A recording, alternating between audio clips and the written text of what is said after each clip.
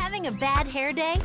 Dora, I really need a haircut. Make an appointment with Dora the Explorer. It's Haircut Day, available May 3rd on DVD. Join Dora and friends on their hair-raising adventure to the barber I would love to cut your hair. Whether it's long, short, or furry, first haircuts can be fun. My hair looks really nice now. Yay! Dora the Explorer. It's Haircut Day, available May 3rd on DVD.